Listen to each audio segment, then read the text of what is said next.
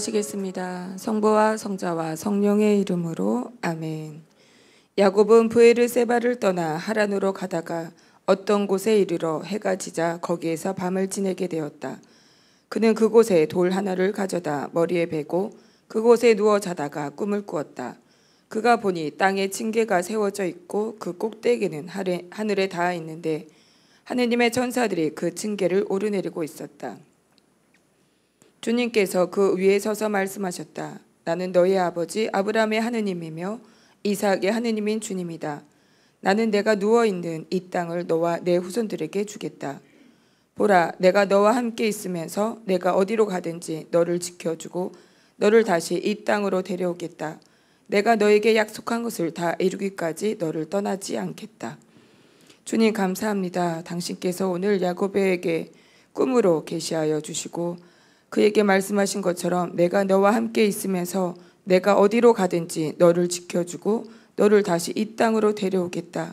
내가 너에게 약속한 것을 다 이루기까지 너를 떠나지 않겠다고 하신 그 말씀이 오늘 이 자리에서 또한 저희 안에서 이루어짐을 믿습니다. 이 모든 말씀 티 없으신 성모님을 통하여 우리 주 예수 그리스도의 이름으로 기도드립니다. 아멘. 성부와 성자와 성령의 이름으로 아멘. 하느님께 감사의 박수 올려드리고 시작하겠습니다. 네, 오늘은 저희가 이제 창세기에서 야곱을 보겠습니다. 자, 창세기에서 보면 음, 창세기에 보면 어, 성조들이 나오죠. 네 명의 성조들 있죠. 제가 아까 시작 기도한 것처럼 자 야곱 원래 아브라함의 하느님, 이삭의 하느님, 우리가 야, 야곱의 하느님이라고 하잖아요. 그런데 그 주인공인 그 아브라함의 하느님, 이삭의 하느님, 야곱의 하느님 중에 야곱에게는 어떻게 하느님이 다가오셨는지 한번 저희가 보겠습니다. 그래서 오늘은 우리가 어, 야곱이 되시는 거예요. 본명이 갖고 계시죠. 다 각자 본명이 갖고 계시죠. 다 각자 본명이 있지만 오늘은 이 성경의 인물 야곱을 통해서 오늘 야곱이 되시는 겁니다. 그래서 야곱이 어떤 사람인지 그 야곱의 근성이 우리 안에도 있다라는 거죠. 그 근성을 하느님께서 오늘을 축복으로 바꿔 주시는 날인 줄 믿습니다. 그래서 저희가 우선 어, 하느님께서 야곱에게 제가 시작기도 때 읽었던 것이 창세기 28장 10절에 나와 있는 그 야곱이 하느님께서 야곱에게 베텔에서 꿈을 꾸는데 하느님께서 이제 계시해서 주시는 나, 나타나시는데요. 제가 아브라함의 하느님, 이삭의 하느님 하고 아까 시작기도 때 그 창세기 28장에 있는 그 구절을 제가 선포한 것처럼 하느님께서는 계시를 아브라함과 이삭에도 하셨다라는 거예요. 그래서 보시면 여기 보시면 PPT 제목이 무엇인가요? 야곱의 두려운 밤 그리고 하느님 그렇죠? 이 하, 하느님이란 요게 그렇죠? 우리 헬라에 보면은 우리 어제 배웠어요. 예? 뭐라고요? 페이온이래. 저희가 요즘 헬라어를 열심히 배우고 있거든요. 그래서 은혜 안에서 정말 웃으면서 하느님의 언어, 그 하느님의 언어라기 하나님의 언어가 아니라 헬라어가 신약 성경에 헬라어로 쓰여져 있잖아요. 그래서 그 정말 저희가 원본을 보기 위해서 그리고 원본을 왜 봐야 될까요? 그리고 은혜를 더 받기 위해서 왜냐하면 어쨌든 다른 나라 말이잖아요. 우리나라 한국말은 아니잖아요. 그러니까 우리에게 익숙한 말은 아니에요. 우리가 그냥 쓰고 우리가 감정이나 우리의 생각이나 우리의 사고관을 가지고 우리가 보는 거는 아닙니다. 그런데 어 그래서 저희가 요즘에 헬라어를 열심히 공부하면서 은혜를 많이 받고 있어요. 그 강의해 주시는 우리 신부님을 통해서 또그 강의 안에 또 말씀으로도 은혜를 주시고 또 이 뭐죠? 그 웃음으로도 저희에게 많은 치유를 주시고 또 저희가 회복되고 있습니다. 그래서 제 제목처럼 PPT 제목처럼 야곱의 두려운 밤이에요. 그러니까 말 그대로 오늘은 야곱의 두려운 밤을 보는 거예요. 근데 그 야곱의 두려운 밤에 누가 있다라는 거예요? 그리고에 하느님이 함께 계신다는 거죠. 우리는 알고 있죠. 우리에게도 나에게도 두려운 밤 내가 야곱이에요. 아셨죠? 아, 열심히 그 PPT 그리지 말아요. 내 방에 가면 아, 그 PPT 이거 두 장, 세 장 있을 거야. 분명해요. 그쵸? 한 장만 있지 않아요? 이 PPT는, 창세기 PPT는 굳이 많아요. 안 그려도 돼요. 은혜 받으세요. 이거는 안 그래도 돼. 이건 너무, 저, 저거, 제가 오늘 이 PPT 보여드리는 건 이 PPT는 거 다 할 거 아니에요. 가운데 이번에는 야복강의 밤만 볼 거거든요. 근데 이제 이 야곱에게는 밤이 세 개가 있었다라는 거예요. 밤이 세 개가 있는데 그 전체 우리는 맥간통을 공부하기 때문에 전체적인 걸 조금 보고 그 안에서 그 흐름 안에서 약복강에서 약복강에서 제일 중요한 일이 생기잖아요. 야곱의 이름이 야곱에서 어디를 변해요? 이스라엘로 바뀌거든요. 오늘 우리가 그 축복을 받는 거예요. 야곱에서 이스라엘 축복을 받는데 이 축복을 받아야 되는데 이 PPT 그리냐고 강사가 무슨 말을 하든지 아 나 창세기 28장 무슨 내용인지 알지 그러고 하느님 말씀 우리는 봐야 돼요. 내가 많이 아는 내용이지만 또 왜냐면 우리는 귀로 듣는 게 중요한 게 아니라 내 눈으로 내 목소리로 이 성경에 있는 구절을 보면서 이 살아있는 말씀 글자가 아니잖아요. 그렇죠? 글자가 아니잖아요. 이 성경에 있는 하느님의 살아있는 말씀을 통해서 그 말씀이 하느님이 내 안에서 일을 하시는 거고 나 안에서만 일을 하는 것이 아니라 우리는 알고 있잖아요. 나뿐만 아니라 내가 하느님의 말씀에 은혜를 받고 치유를 받고 회복이 되면 나의 환경과 나의 가정에서도 또 그것을 통해서 하나님께서 응답을 주시리라 믿습니다. 그렇기 때문에 이 PPT는 집에 많아요. 그리고 유튜브 보시는 분들 이렇게 잠깐 이렇게 멈췄다가 보시면 되는 거, 그리면 되니까 이 뭐 이거 그리신다고 멈추지 마시고 잘 쫓아오셔야 됩니다. 그래서 오늘 그래야지만 나의 야구 같은 근성 있잖아요. 사기꾼 같은 근성이 있거든요. 우리 사기꾼이라 저는 이 말 들었을 때 기분 좀 나빴어요. 나, 나 사기꾼 아닌데. 아, 그렇지 않나요? 어, 그런 표현은 왜냐면 좀, 좀 기분 나쁠 수도 있어요. 당신 사, 어, 우리에게는 야곱의 근성이 있대. 사기꾼이래. 하느님이 선포하시는데, 어, 전 좀 기분 나빴어요. 나 정말 착하게 살았고. 내가 엄마 아빠랑 조금 친구들한테 좀 거짓말을 조금 했지만 난 사기꾼은 아니잖아요, 그렇죠? 사기꾼은 아닌데 그 왜 사기꾼이라고 하시는지 우리가 볼 거고 내 안에는 그런 근성이 이제는 우리가 인정을 하잖아요. 내 안에 그렇지, 나는 아직도 야곱의 사기꾼이 하느님이 말씀을 하시니까 나한테 너 아직도 야곱의 근성이 있어, 사기꾼의 근성이 있어. 아 그럼 하느님이 있다고 하면 있는 거지 나는 내가 기분 나빠할 이유도 없고 아니라고 할 필요도 없어. 기분 나쁘다는 것은 인정하고 싶지 않다라는 거죠. 그리고 하느님 그렇게 불렀을 때 왜요? 그렇죠? 어 그러고 싶은 마음이 저 안에 있었죠. 정말 저 기분 나쁜 말 중에 하나가 이거였어요. 그렇죠? 너 아직도 야, 사기꾼의 근성이 있어. 아, 나 착한데 우리 집안 착한데 우리 집안에 사기꾼 없는데 막 그런 생각 드는 거 있었잖아요.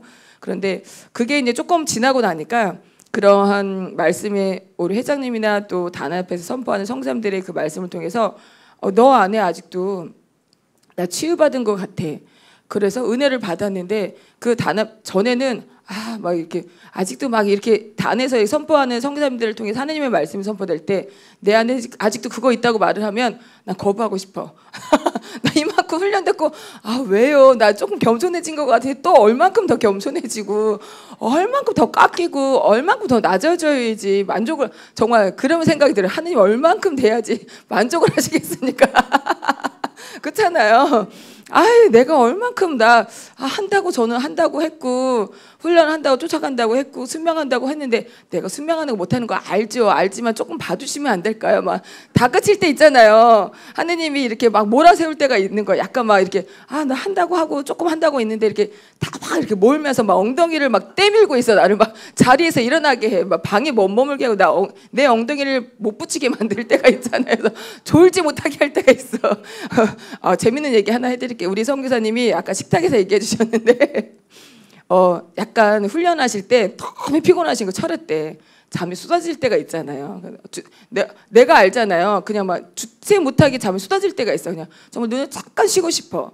그래서 저희 이제 잠깐 사측에 가서 빈 방이 있었나 봐요. 그래서 공간이 있었나 봐요. 거기 그리고 머리를 쓴 거예요 나름대로 신발이 있으면 걸릴 것 같으니까 부장님한테 걸릴 것 같으니까 신발을 들고 가는 그런 그게 사기성인 거예요. 그게 야곱의 사기성인 거예요. 아직도 내 안에 있는 육적인 거. 오늘 그런 육적인 거를 28장 이야기가 그거죠. 야복강의 이야기가 그거잖아요. 내 안에 있는 육적인 걸 하나님 빼내시는 게 그럼으로써 이제 야곱이 이스라엘로 되는 거거든요. 그래서 영적인 축복을 받는 거거든요. 우리는 그 패턴을 알아요. 하나님께서는 축복을 주시려고 그러면 내 안에 있는 육적인 걸 그대로 두고 축복을 부어 주시지 않아요. 왜냐하면 하느님의 속성 중에 하나님 뭐예요? 하나님은 거룩하신 분이시잖아요. 그렇기 때문에 하나님은 죄와, 죄와 어둠과 친해질 수 없어요. 이 땅에 오신 분은 예수 그리스도가 빛으로 오셨잖아요. 그렇기 때문에 우리 안에 어둠이 있거나 내 안에 상처로 그 찌든 것이 있다 그러면 하나님은 그 자리에 그거를 깨끗이 그릇을 만들어서 거룩한 것을 채우잖아요. 생각해 보세요. 우리가 누군가에게 어 손님이 왔거나 내가 좋아하는 사람이거나 내 아, 내가 사랑하는 사람이거나 이럴 때 그분한테 차 한 잔 내가 드리려고 할 때도 지저분한 컵이 있다 하면 그 컵을 어떻게 해야 돼요? 어 물이 차가워도 지금처럼 겨울이어도 어, 물이 차가워도 내가 어떻게 해요? 소- 손을 담그고 그거를 깨끗이 씻어서 물기 없이 한 다음에 또 더 마음을 쓰신다 그러면 우리 성사님들 같은 경우에 마음을 쓴다 그러니까 전자레인지에 그걸 데피시더라고요. 그럼 컵이나 그릇이 따뜻해지더라고요. 그 안에 그 따뜻한 거, 따뜻한 국, 따뜻한 밥, 따뜻한 차를 조금 넣어서 따뜻한 걸 마셔도 이렇게 또 찻잔이 겨울에 따뜻한 거 마시면 기분이 따뜻하고 좋잖아요. 차가운 거 마시면 아 차갑다 이런 말 생각이 들지 않을까. 그런 마음들 쓰는 것처럼 그렇게 우리가 하는 것처럼 하나님도 우리에게 어떤 영적인 축복을 부어주시기 위해서는 내 안에 그런 것들을 다 깨끗이 비워줘야 돼요. 우리는 그런 영적인 그런 패턴들을 알고 있지만 알고 있으면서도 벗어나려고 육적으로 자꾸 벗어나려고 하죠. 그래서 우리 성사님 얘기를 돌아간다 그러면 우리 성사님 잠깐 쉬고 싶어서 정말 정말 그땐 그 마음이 간절하신 거지. 지금 그러지 그러지 않으신다는 지금은 안 그러세요. 근데 이제 그때는 그런 마음이 들어서 신발까지 들고 가는 그 야곱의 사기 근성 그 잠깐 나온 거 육적인 거죠. 근데 그거는 그 성사님만 뭐라고 할 수 있나요? 나도 그럴 수 있어요. 왜냐면 걸리면 안 되니까 잠깐 잠깐 눈 잠깐 붙이고 싶잖아요. 왜냐면 쉴 데가 없으니까. 그래서 이제 신발까지 들고 잠깐 나 쉬어야지 하는 순간 밖에서 우리서 우리 교장님이 이름을 부르시면서 어 나와 그러셨다고 그러시더라고요. 그래서 아 정말 살아계신 하느님 내 육은 내 육은 정말 쉬고 싶어. 근데 하느님은 안 그러셔요.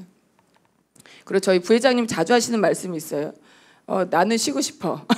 근데 주님은 자꾸 어떤 일을 주고 주셔. 그래 내, 내가 쉴 때가 있잖아요. 음, 또 그럴 때가 있으시더라고. 이렇게 말씀하실 때 보면 잠깐 이렇게 틈이 나서 잠깐 피곤해서 잠깐 눈을 붙이거나 잠깐 등을 이렇게 등을 조금 사람이 붙이고 눈을 붙이고 있으면 조금 피로가 가시고 이렇게 조금 더 활기가 차잖아요. 그러니까 조금 이렇게 하려고 누워 있는데 나는 더 누워 있고 싶어. 근데 전화벨이 울리는 거예요. 그러면 전화벨이 울려서 간단한 업무가 아닌 거예요. 그러면 일어나야 되는 거예요. 의자에서 일어나. 그러니까 의자에서 잠깐 쉬고 있더라도 그 타임도 조차도 하느님이 내 스케줄을 조정하신다라는 거예요. 내 육은 더 엉덩이를 붙이고 더 쉬고 싶고 따뜻한 곳에 머물고 싶고 더 시원한 곳에 머물면서 잠깐 나의 더운 거 내가 열심히 일했던 것들 내가 추웠다 그러면 더 따뜻한 곳에 머물면서 조금 더 나의 육을 더 이렇게 만족스럽게 시원하게 요나처럼 그쵸? 아주까리 나무가 하느님이 해주면 아 시원하다 이런 거 있었던 그 모습 그대로 나는 거기 나 머물고 싶은데 하느님은 어떻게 그 나의 스케줄까지도 너무나 잘 챙기시는다는 거죠. 살아계신 하느님께서는 그래서 전화를 해서 이제 그만 쉬어, 그만 일어나 이제 일할 때야. 나는 내 육은 그렇게 쉬고 싶다라는 거예요. 그 저희 부회장님 자주 하시는 말씀이에요. 그래서 저는 그 말에서 많이 은혜를 받아. 아 그렇구나. 하느님은 그렇게 일을 하시는구나. 우리가 어, 교회 안에 있는 주교님이나 또 신부님들이나 우리를 앞, 교회 안에서 일하고 있는 신부님들 있잖아요. 본당에서 사목하시는 신부님들, 또 본당에서 또 함께 신부님과 한, 함께 사목하고 계시는 수녀님들, 또 수도자들 계시잖아요. 그, 그런 것처럼 어, 그분들을 향해 그분들을 통해서 하시는 하느님들이 있거든요. 그렇게 리더들을 통해서 우리는 이렇게 깨달음을 또 얻을 수 있어요. 이, 얻을 수 있어요. 또 말씀을 통해서 하나님 우리한테 직접 말씀을 주시지만 그 성경에도 나오잖아요. 그 앞서가는 지도자들의 모습을 보고서 그들의 믿음을 보고서 그렇죠. 우리가 그들에게 본받아야 될 부분이 있고 그분들의 앞서가는 지도자들의 그분들의 그 말씀과 그분들의 행동과 그분의 삶을 통해서 우리가 아 저렇게 하느님이 하시는 일이 저런 거구나. 그렇다 그러면 나에게도 나이가 육신이 쉬고 싶을 때 나에게 뭐가 왔을 때는 주님이 나를 자꾸 엉덩이를 밀어 붙일 때는 짜증을 내는 것이 아니라 그 도, 통해서 지도자들을 통해서 했던 그 하느님이 주신 그 그분들을 통해서 우리가 얻을 수 있는 부분 중에 하나인 것 같아요. 그렇죠. 그래서 오늘 야곱의 이야기를 또 가려고 합니다. 그래서 이 PPT에 나와 있는 것처럼 저희가 다 세 개를 할 건 아니지만 야곱에게는 이렇게 야곱이 두려워했던 밤이 세 개가 있었다라는 거예요. 그러니까 이 정말 야곱이 이스라엘이 되는 단계, 그다음에 또 베델의 하느님에서 엘베델이 된 하느님. 저희가 오늘은 이거는 보진 않을 거지만 저희가 어, 야곱에게도 이렇게 정말 성조가 아브라함의 하느님, 이삭의 하느님, 야곱의 하느님이라고 불렸던 이 대단한 야곱에게도 두려운 밤이 있었다라는 거예요. 그 두려운 밤을 우리가 하나하나 보면서 이 1번, 2번, 그러니까 1번에 베델의 밤, 그다음에 2번에 약복강의 밤, 그다음에 세, 세 번째 부에셀의 밤을 어떠한 밤이었는지 우리가 내용을 한번 맥가 맥가 맥을 한번 짚어보고 나서 우리가 약복강으로 한번 가보시겠습니다. 그렇다 그러면 베델의 밤 창세기 28장 한번 가보실까요? 거기가 우리가 10절에서 11절 함께 읽어보시겠습니다. 야곱은 부에르세바를 떠나 하란으로 가다가 어떤 곳에 이르러 해가 지자 거기에서 밤을 지내게 되었다. 거기 나오죠? 밤을 지내게 되었다. 그렇죠. 거기 밤 혹시 체크가 안 되어 있으신 분은 밤이라는 곳을 이렇게 네모를 박스를 치시면서 눈으로 불, 이렇게 훑어보시면 거기다가 야곱이 자 야곱이 베델에서 지금 꿈을 꾸는 장면이잖아요. 근데 여기서 왜 꿈을 꾸는 거예요? 왜 자기네 집이 없어요? 어떤 신세예요, 야곱이 지금? 도망가는 신세잖아요. 왜냐하면 야곱이 지금 야곱은 둘째고 첫째가 에사우였잖아요. 그러니까 이때 시대는 첫째에게 장자권이 주어집니다. 그런데 그 에사우의 장자권의 복을 빼앗죠. 그 빼앗으면서 야곱이 어, 어 야곱은 야곱은 어떤 야곱과 에사우는 어떤 사람이었냐면 우리가 25장 한번 가보실까요? 창세기 25장에 가보시면 어, 야, 에사우와 야곱이 태어난 장면이 나타납니다. 그러면서 야곱이 그의 이름 먼저 봐야 되겠군요. 그럼 26절에 보시면 어, 에사우가 태어나고 26절에 동생이 나오는데 그 이름을 무엇이라 했어요? 야곱이라고 했거든요. 근데 그 야곱의 이름이 뜻이 뭐예요? 밑에 성경매 밑에 딸 이렇게 주석이 달려져 있죠. 발 뒤꿈치와 남의 자리를 뺐다 기만하다와 관련되다 라는 거예요. 그래서 야곱의 이름이 어떻게 보면 사기꾼 같은 근성을 가지고 있다라고 이렇게 표현하신 것 같아요. 그래서 27절, 28절 한번 읽어보실까요? 이 아이들이 자라서 에사오는 솜씨 좋은 사냥꾼 곧 들사람이 되고 야곱은 온순한 사람으로 천막에서 살았다. 이삭은 사냥한 고기를 좋아하여 에사오를 사랑하였고 레베카는 야곱을 사랑하였다. 우리가 여기서 보면 에사오는 솜씨 좋은 사냥꾼이잖아요. 야곱은 온순한 사람으로 어디서 살았대요? 천막에서 살았대요. 누구랑 사는 거예요? 그러니까 엄마랑 엄마랑 우리가 뭐 좋은 표현은 아니지만 마마보이라는 표현을 우리가 이제 하기도 합니다. 야곱에 대해서 그런 것처럼 천막에서만 살아 천막에서 살았던 야곱이에요. 천막에 누가 머물겠어? 엄마랑 많이 머물고 머물러 있었겠죠. 그런데 지금 야곱이 도망가는 거예요. 그럼 이 이스라엘 지역 우리가 알잖아요. 어디로 광야에서 지금 도망가고 있는 거거든요. 그렇다고 하면 야곱이 얼마나 두려웠겠어요. 그렇죠? 지금 엄마도 마마 보이가 엄마를 떠났어. 그것만으로도 두려워. 그것만으로도 두려운데 지금 왜냐면 에사우가 또 에사우에게 그 맏아들 권리를 에사우가 맏아들 권리를 팔잖아요. 그래서 어 이제 떠나게 돼 어쩔 수 없이 떠나게 되는 거죠. 왜냐면 엄마가 레베카 엄마하고 야곱이 어떻게 보면은 어 근데 요걸 한번 보셔야 돼요. 잠시만요. 자, 먼저 이걸 어떤 걸 봐야 되냐면 야곱과 에사우가 태어날 야곱과 에사 야, 그러니까 에사우와 야곱이 태어날 때 창세기 25장 23절에 가 보시면 주님께서 약속하신 말씀이 있으시거든요. 함께 읽어 보실까요? 가셨나요? 25장 23절. 네, 주님께서 그에게 대답하셨다. 너의 뱃속에는 두 민족이 들어 있다. 두 결례가 내 몸에서 나와 갈라지리라. 한 결례가 다른 결례보다 강하고 형이 동생을 섬기리라. 하는 하느님 말씀이 있었어요. 이건 뭐예요? 야곱이 그렇죠? 에사우가 야곱을 섬기리라는 말씀이 있었어요. 그런데 그 말씀을 레베카가 믿지 않았다는 거예요. 그렇기 때문에 야, 레베카와 그 야곱이 사실은 이렇게 서로 모의를 하잖아요. 모의를 해서 어 누구를 속여요? 이삭을 속이잖아요. 그러니까 이삭은 이삭을 속이잖아요. 그래서 에사우인 것처럼 속여서 그 장자권을 뺏고 축복권을 뺐잖아요. 그래서 그 장자권을 빼앗긴 것만으로도 어 원래 이제 에사오는 그 장자권 파는 것에 대해서 대수롭지 않게 여겼다라고 성경에 나오잖아요. 마다들 권리 파는 거. 근데 축복권을 빼앗겼을 때는 에사 에사오가 그 잃어버린 복에 대해서는 어 그렇죠. 도망가죠. 아, 왜냐면 27장 41절에 가 보시면 에사우가 에사우는 아버지가 야곱에게 해준 축복 때문에 야곱에게 무엇을 품었대? 앙심을 품었다고 나오거든요. 그러니까 야곱이 이곳에서 멈출 있을 수가 없죠. 왜냐하면 언제 저기 자기 형 에사우에게 죽임을 당할 수도 있기 때문에 그래서 레베카가 말하죠. 야곱을 불러 그에게 어다그 가난 여자들 맞아들이면 안 되니까 외할아버지 있는 그 라반 삼, 외숙 그쵸 28절에 보면 너의 외숙 라반의 딸들 가운데 아내를 맞아들여라 하면서 자기 형제죠 그쵸 매가 댁으로 도망을 보내는 거예요 그래서 그 도망가는 상황 안에 지금 28장에 가보시면 야곱의 베텔에서 꿈을 꾸는데 그 시기가 언제 밤이었다라는 거죠. 그게 밤이었다라는 거예요. 그래서 어, 베델의 밤에 대해서 우리가 보진 않겠지만 이 밤도 어, 이 밤이 있었다는 거 야곱에 야곱에게 이렇게 두려움에 떨면서 정말 천막에서 떨어져서 나와서 엄마 레베케 떨어져 나와서 도망가는 신세가 됐다는 거예요. 라반에게 도망가는 그 두려움 상황에서 야곱이 꿈을 꾸는데 거기서 주님이 그쵸 야곱에게 계시하셔서 그 꿈 안에서 계시를 해주시면서 천사가 하느님의 천사들이 그 징계를 오르내리는 걸 보게 되죠. 그러시면서 야곱에게 약속하시잖아요. 15절에 보시면 함께 읽어보실까요? 내가 너와 함께 있으면서 내가 어디로 가든지 그쵸 1번이죠. 내가 너와 함께 있으면서 그리고 2번이 내가 어디로 가든지 내가 너와 함께 있고 내가 어디 가든지 너를 지켜준다고 하셨고 3번이 너를 다시 이 땅으로 데려오겠다라고 약속하신 거예요. 그러면서 4번에 뭐예요? 내가 너에게 약속한 것을 다 이루기까지 너를 떠나지 않겠다라고 주님께서 약속을 해주십니다. 그러면서 이곳을 우리가 베델이라 하였다, 하느님의 집이라라고 하였다라고 28장에 나옵니다. 그러니까 그런데 도망가면서도 에사우가 또 쫓아올까 두려웠잖아요.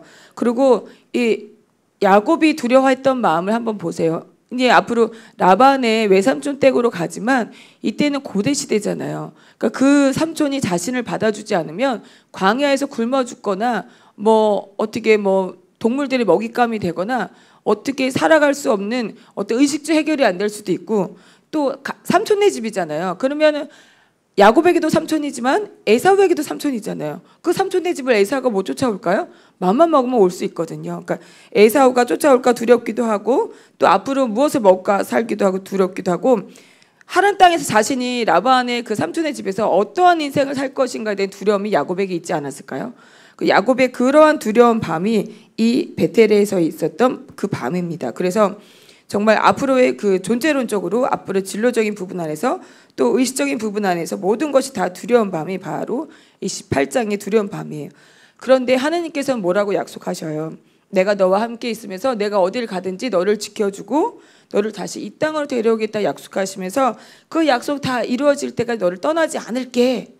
라고 그 두려운 밤에 하느님께서 어, 야곱에게 어, 계시하셔 주신 말씀입니다. 그러니까 우리에게도 있지 않을까 이렇게 두려워하는 것들이 있잖아요. 내가 앞으로 뭘 먹고 살아갈까.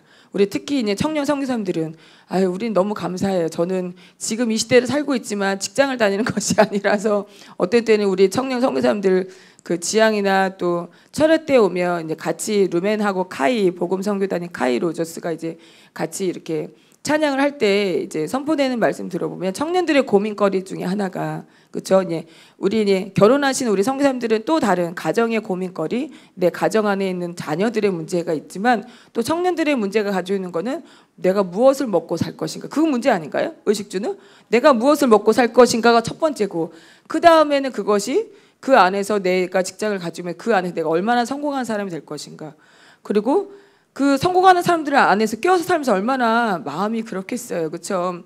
여기 안에 오면은 아 이뻐 이뻐. 그쵸? 우리가 아 이뻐. 너무나 좋아. 하느님 안에 일찍 너무 들어서 너무 이쁘잖아요. 우리는 다 이뻐. 그렇지만 사회에 나가면은 그 경쟁 구도 안에서 정말 다른 사람들은 더 앞서가는 모습들 다른 사람들은 뭐 유학도 갔다 오고 누군가는 정말 집안이 좋아서 빵빵해서 부모님의 어떤 후원을 통해서 더 좋게 더 여유롭게 생활도 하고 또 누군가는 또 열심히 살아가면서 또 스펙도 쌓아가고 뭐 영어도 하고. 그쵸 우리 영어 잘하는 사람 들어오면 좀 그쵸?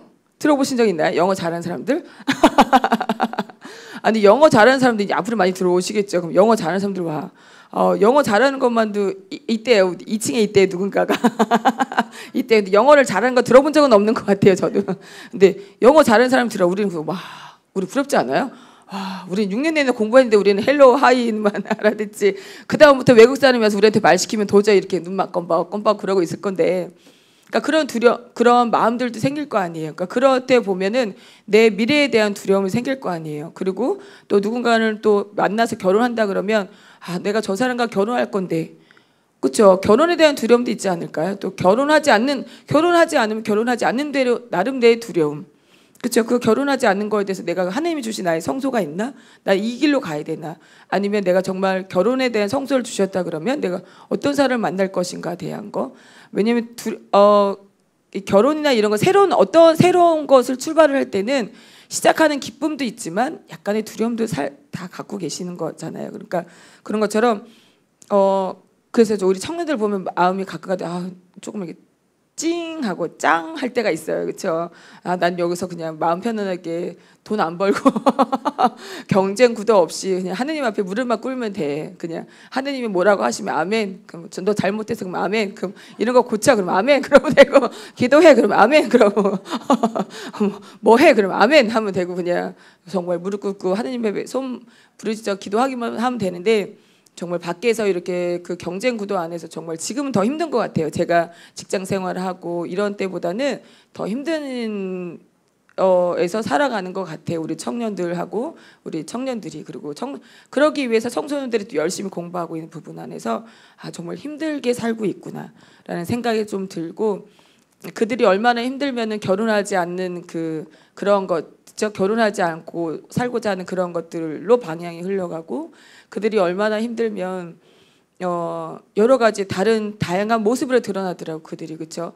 그런 이렇게 건강한 모습으로 드러나는 것이 아니라 우리가 볼 때 건강하지 않은 모습들 하느님 안에서 보기에 건강하지 않은 모습 사회적으로 봐도 건강하지 않은 모습들 아니면 또 단절하는 모습들이 있잖아요. 그러니까 그런 것들 보면 아 정말 이 세상에 살아가는 게 어떠한 것이 어떠한 것이 그들에게 그렇게 두렵기 때문에 그렇게 막을까라는 생각이 듭니다. 그런 것처럼 야곱은 지금 천막을 천막에 살았던 사람을 우리 봤어요. 그리고 천막에 살았다는 거 엄마랑 같이 살았다는 거거든요. 그런 사람이 에사우는 사냥을 좋아했고 야곱은 천막에 살았던 사람이에요. 근데 그 사람이 지금 축복권 때문에 지금 축복권 왜냐면 에사우가 앙심을 품었다는 걸 아, 알았기 때문에 레베카가 사실은 뭐 라반에 가서 그 딸들과 결혼해라라는 거를 해서 보내죠. 보내서 그러면 엄마랑도 사실 우리가 보면 알겠지만 엄마의 죽음도 야곱이 볼 수 있었나요? 못 봐요. 못 돌아와요. 여기까지 돌아오지 못 돌아온 시간이 20년이라는 시간이 기다, 기다려야 돼요. 야곱에게는 그 많은 시간이 있었거든요. 그 시작하는 그 단계에서 야곱이 정말 두려웠을 거예요. 하란 땅에 낯선 땅에 가는 것들, 그다음에 지금 여기서 이제 야, 그 광야에 머물면서 지금 여정을 혼자 가는 거잖아요. 누가 옆에 같이 여정을 같이 하는 사람이 있는 게 아니에요. 지금 광에서 혼자 있는 거예요. 혼자 그 길을 하는 땅까지 가는 거예요. 하는 땅까지 이렇게 위쪽으로 조금 더 올라가는 길이 있거든요. 그러니까 그 위까지 올라갈 때 지금처럼 버스를 타거나 뭐 그런 것이 아니에요. 고속도로가 있는 것도 아니에요. 그 광야를 그 가는 거예요. 그 가면서 야곱이 얼마나 어떤 많은 생각들 하고 어떤 두려움에서 갔을까 여러분 한번 고민해 보시, 한번 묵상해 보셔요. 그러면 제가 오늘은 우리가 야곱이거든요. 각자 내가 다 야곱이에요. 그렇다면 나에게도 그렇게 뭔가 새로운 시작하는 것들 안에 나에게도 두려워하는 것들이 있었다는 거죠. 내가 무엇을 먹고 살 것이 아직도 지금도 고민하고 계시다 그러면 내가 하느님의 종으로 갈 것인가? 내가 또 하느님이 나한테 불러준 성교사의 길을 갈 것인가? 또 우리 성교사님들은 또 복음 성교단에 있는 우리 성교사님들 내가 아직도 이 길을 쭉 갈 것인가? 난 앞으로 무엇을 먹고 살 것인가 고민되잖아요. 그렇죠? 그런 것들에 대한 고민을 야곱이 그렇기 때문에 야곱에게 하느님이 약속해 주신 거 있잖아요. 그 네 가지를 약속하시죠. 내가 너와 함께 있으면서 너를 지켜주고 다시 너를 이 땅으로 되돌려오겠다. 그 약속 꼭 지키신 분이 하느님이십니다. 그래서 베델의 밤에 받고 약복강에 한번 가보실까요? 창세기 32장입니다. 한번 가보세요. 32장에 가셨나요? 32장에 가보시면, 그러니까 그 약복강의 이후로 한번 이렇게 쭉 성경을 보시면 약복강의 이후로 야곱이 드디어 이제 그 라반의 집에 도착을 해서 그렇죠? 라반에 도착을 도착을 해서 라반의 딸들을 만나죠. 딸들을 만나고 혼 그들과 혼인을 해서 야곱의 아들들 열두 아들이 이제 탄생을 합니다. 탄생하는 이야기들이 이 베델의 밤과 약복강의 밤 사이에는 야곱이 라반의 땅에 도착을 해서 라반의 딸들 라헬과 또 레아와 결혼을 해서 열두 아들이 생기는 그 아주 중요한 사건들이 또 생기죠. 약복강으로 갔을 때는 32장에 가보시면 야곱이 이제 드디어 이제 그 라반에서 긴 세월, 20년이라는 긴 세월을 보내고 이제 고향으로 돌아오는 이야기가 베데레방과 야복강 강 사이에 이야기가 있습니다. 그런데 이때 보면 29장 20절 한번 가보실까요? 29장 20절. 여기에 그 라반의 딸들은 두 명이 있죠. 라반의 딸 두 명, 둘이 있는데 큰 딸의 이름이 뭐예요? 레아. 레아고 거기 쭉 눈으로 보셔요. 작은 딸 이름이 뭐예요? 라헬. 라헬이 있었는데 레아의 레아의 눈은 뭐예요? 생기가 없었지만 라헬은 몸매도 예쁘고 모습도 아름다웠다. 성경이 이렇게 말한 거 보면 그렇죠? 진짜 이쁜 거예요. 맞아 맞아. 진짜 이쁜 거예요. 그렇죠? 어, 진짜 이쁜 거예요. 그 얘기하잖아요. 라헬은 몸매도 예쁘고 모습도 아름. 아니 우리가 봐도 아니, 눈에 생기가 있는 어, 없는 사람이 이쁘겠어요? 아 이쁘지 안, 안 이쁘잖아 우리가 생각해도 그죠 눈에 생기가 없는 사람보다 라헬처럼 몸매도 예쁘고 모습도 아름다웠다 그리고 아마 그 야곱이 라헬을 만나는 게 어떤 거 있어요 그 위에 보면은 구절에 보면 라헬은 어떤 어떤 여자였어요 양치는 여자였어요. 지금으로 말하면은 몸매 이쁘고 그쵸 열심히 운동하셔서 이 몸매 좋으신 분들 있잖아요. 이 군살이 없어. 우리처럼 D 라인이 아니야. B 라인, D 라인이 아니라 군살이 없고 이렇게 글래머스하고 이렇게 군살이 없고 몸매도 이쁘고 얼굴도 이뻐. 그런데다가 뭐예요? 양치는 여자였어요. 어 그럼 뭐. 이 카리스마도 좋고 그쵸 양치는 하는 여자 뭐 사업을 한다든가 아니면 이런 어 직장을 다니는데 빵빵하게 뭐 스펙이 좋고 이렇게 너무 그러한 훌륭하신 분들도 있잖아요. 그러니까 그런 그런 분들의 모습이라고 보시면 될 것 같아요. 그렇기 그런데 중요한 것은 야곱이 라반 하라는 땅에 머물면서 20절에 한번 읽어보실까요? 야곱은 라헬을 얻으려고 7년 동안 일을 하거든요. 그런데 이것이 그에게는 며칠로밖에 여기지 않았다. 그가 그만큼 라헬을 사랑하였다는 것이다. 이것을 보면 어, 하느님이 이러한 육적인 어, 야곱을 육적으로 라반 밑에서 붙잡아 두기 위해서 하느님의 섭리가 있었다라는 거죠. 그 방법이 뭐예요? 라헬을 사랑하게 만드셨다는 거예요. 그렇기 때문에 보세요. 아니 7년이 며칠로밖에 여기지 않았을까요? 아 7년이면 7년이죠. 아, 7년을 며칠로밖에 여겨지지 않을 정도로 야곱이 라헬을 그렇게 사랑하였다는 거죠. 그런데 이것이 하느님의 섭리였다는 거죠. 그 육적인 야곱을 그 하란 땅에 붙잡아두기 위해서 하느님이 라헬을 야곱이 라헬을 사랑했끔 만드셨다는 거예요. 그 사람이 꼭 여기 당연히 몸매도 예쁘고 모습도 아름답고 그는 양치기 소녀였기 때문에 양치기 소녀가 양치기는 여자였기 때문에 이쁠 수도 더 마음에 들 수도 있겠죠. 배우자로서 그렇지만 그 마음을 하느님이 주셨기 때문에 7년이 그냥 손살같이 흐른 거예요. 그 나이를 얻기 위해서. 그런데 야곱이 그런데 7년만 일했나요? 아니죠. 그 땅에서 7년 7년 해 가지고 20년을 머물게 되거든요. 그런데 20년을 머물고 내는데 거기에 보시면 도망칠 때 보면 야곱 31장에 가 보시면 야곱이 고향으로 달아나는 장면이 나오거든요. 그러시면서 어 11절에서 어 14절 13절까지 우리가 한번 읽어 보실까요? 가셨나요? 어, 창세기 31장입니다. 31장 11절 함께 읽어보시겠습니다. 그 꿈속에서 하느님의 천사가 야고바 하고 부르시게 내가 여기 있습니다 하고 대답하였더니 그분이 말씀하시기를 눈을 들어보아라 암컷들과 교미하고 있는 수컷들이 모두 줄쳐진 것 얼룩진 것 반점이 있는 것뿐이다. 라반이 너에게 어떻게 하는지 내가 다 보았다. 나는 내가 기념 기둥에 기름을 붓고 나에게 서원을 한 베델의 하느님이다. 이제 일어나서 이 땅을 떠나 내 본고장으로 돌아가거라 하셨소. 이렇게 나오잖아요. 그러니까 그 아까 우리 베델의 밤에서 만났을 때 하느님은 베델의 하느님이에요.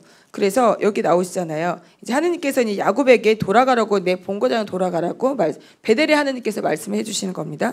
그런데 31장의 그 22절에 가보시면 라반이 야곱을 쫓아가는 거거든요. 그러니까 왜냐면 야곱이 달아났다는 소식이 22절을 보시면 야곱이 달아났다는 소식이 얼마 만에 사흘 만에 라반에게 전해지는 거예요.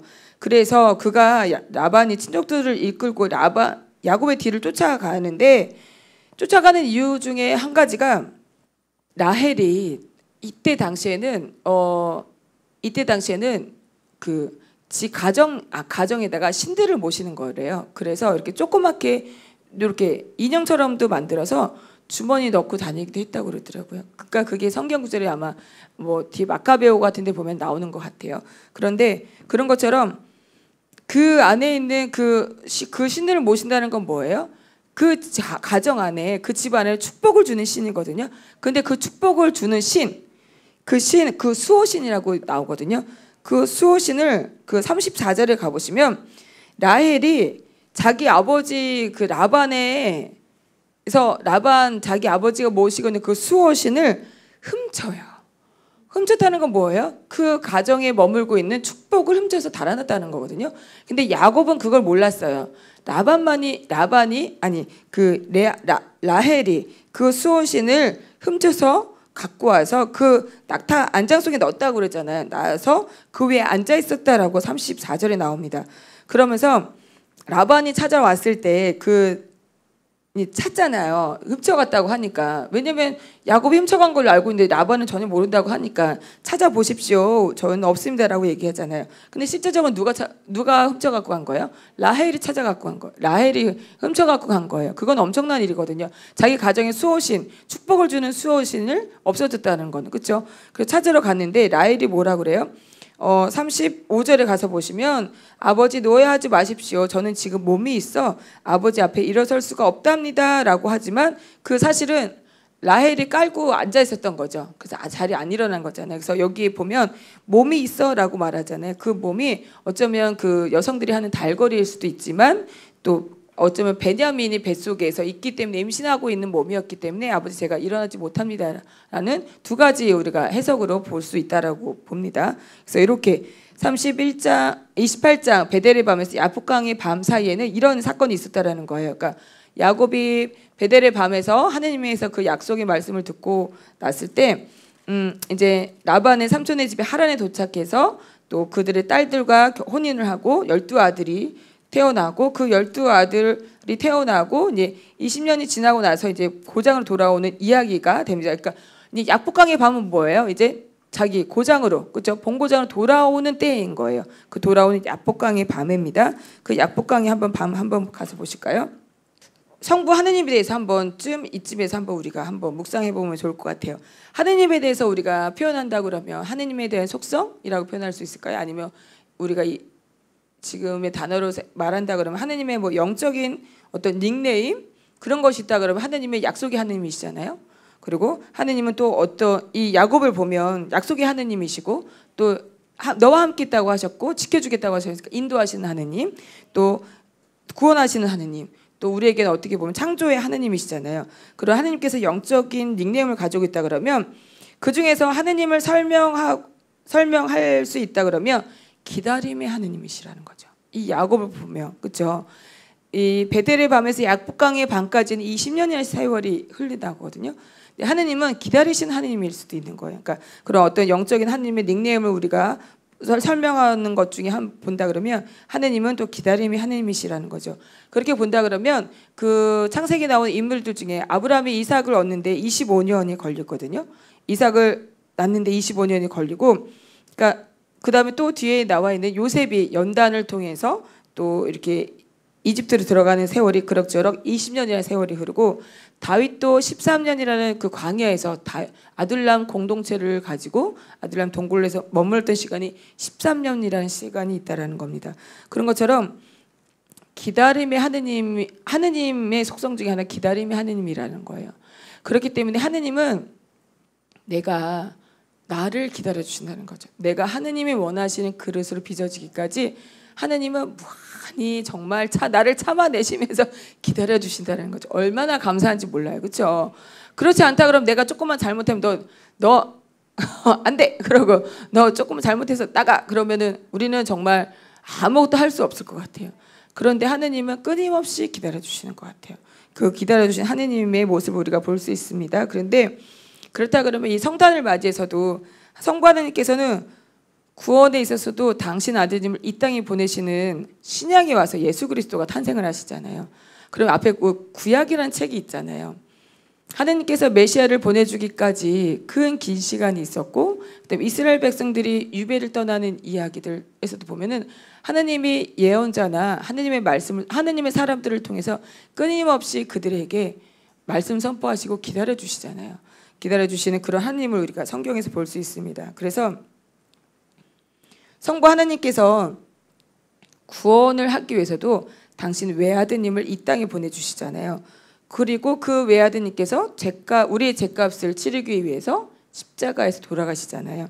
그리고 나서 그 속량하시고 나서 십자가에 돌아가시는 거로 끝나는 것이 아니라 십자가에 돌아가시고 나서 부활하시잖아요. 부활하셔서 누구 계셔요?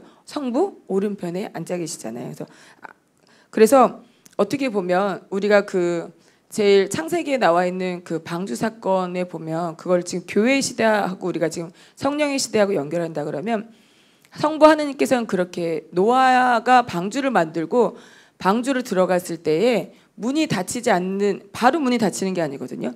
하느님께서 이스라엘 백성들을 노아와 그 노아의 가족들이 방주로 들어갔을 때 문이 열려 있는 시기가 있는 거예요.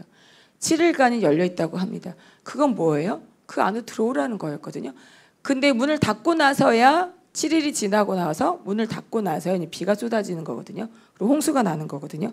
그러니까 그런 것처럼 하느님께서는 그렇게 지금 교회 시대에 연결하다 한다 그러면 지금이 바로 그런 구원의 시대이고 지금이 바로 문이 열려 있는 시대라고 많이 말씀을 하신다라는 거예요. 그러니까 우리가 복음을 선포할 때 문, 우리는 이미 알고 있잖아요.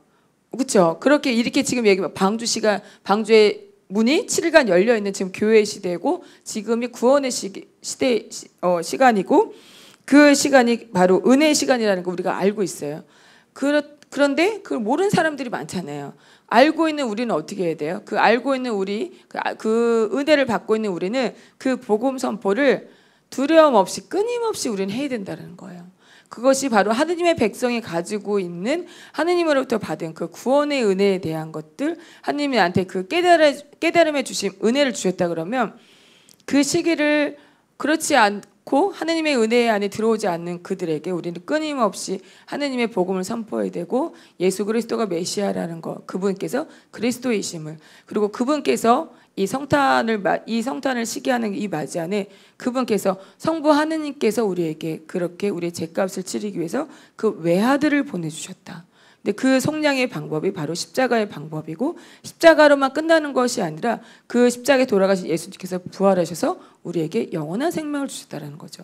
그러니까 그것을 우리가 내가 알고 끝나는 것이 아니라 예수님께서 예수님의 그 신약에 가보시면 예수님의 그 탄생 이야기와 탄생이니까 요즘에 탄생 이야기와 예수님이 잠깐 그 어린, 시절 이야기가 잠깐 나오잖아요. 루카복음에 나오면 그런 거 나오고 나서는 예수님이 바로 제자들을 부르시는 장면이 나오거든요.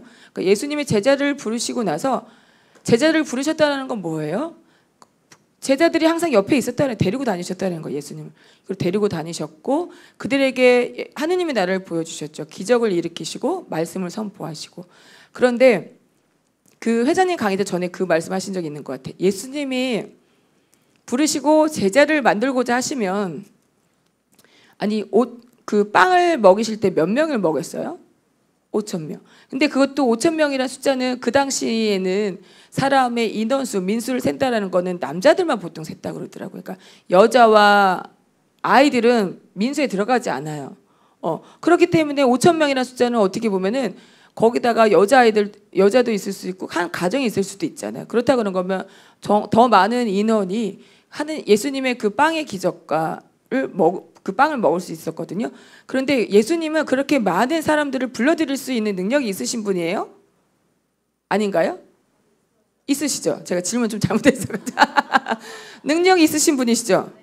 아니 그 빵의 기적을 통해서 하느님께 감사를 드리면서 빵의 기적을 통해서 5천 명을 먹이신 기적을 일으키신 분이고 무리를 걸으시는 분이에요. 무리를 걸을 수 있는 사람이 있어요? 없어요. 예수님 외에는 창조주에 누가 무리를 걷겠어요? 그 누가 그 피조물을 다스릴 수 있겠어요? 그런데 그 하는 그 예수님께서 이 땅에 오신 예수님께서 제자들을 부르실 때 누구를 부르셨어요? 몇 명만 부르 제자가 몇 명이에요? 우리가 알고 있는 제자? 대표적인 제자. 12명이지 뭐 고민을 해. 뭐 머리 너무 머리 쓰지 마. 저 그렇게 뭐 그렇게 머리 쓰는 질문 하는 아지 않아요. 12명밖에 안 부르셔요. 그리고 특별히 더 옆에 있어 봐요. 그 이름 없는 일흔 두 제자. 그렇죠? 일흔 두 제자가 나오잖아요. 이름 없는 일흔 두 제자. 이름 나와 있는 사람은 열두 제자밖에 없어요. 이름이 호명 나오. 아니 아니 그 복음 선포하신다고 그러면 이스라엘 땅뿐만 아니라 유럽으로 가셔도 되지. 왜 이스라엘 땅에만 머무르셨을까? 그렇죠? 그런 것도 묵상해 보시면 예수님께서 부르신 사람은 어 소수의 인원 12명의 열두 사도를 부르셨어요. 그 열두 사도가 예루살렘의 교회에 됐고 그 다음에 또 사도가 된 사람이 누구예요? 사도 바오르가 사도가 됐잖아요. 분명히 본인은 사도라고 말씀하시니까 우리도 사도라고 말씀해 줘야 되겠죠. 왜냐면 그래서 그 사도 바오로처럼 이렇게 부르셔서 이방인 사도를 쓰신 것처럼 그렇게 하느님 부르신 사람은 한 사람일 수도 있어요. 그렇다면 내 우리 집안에서 나를 부르신 분은 나일 수도 있어요. 그렇죠? 그래서 우리가 가정에 호주라는 표현도 하고 가정에서 어, 우리 집안에서 기도하는 사람이 많을 수도 있어. 그런데 굳이 이 자리에 말씀하는 자리에 부르시는 하나님, 나를 부르시는 하나님이에요. 누구? 나이가 누구예요? 야곱인. 야곱인 나를 부르시는 하나님. 중간에 들어오셔서 이게 중간에 들어오셔가지고 야곱의 근성을 안 들으셨어요. 끊겼어.